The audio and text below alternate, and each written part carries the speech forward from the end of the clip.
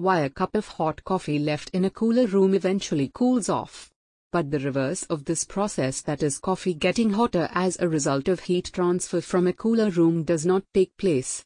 Why water flows downhill where potential energy is converted into kinetic energy. Again the reverse of this process does not occur in nature.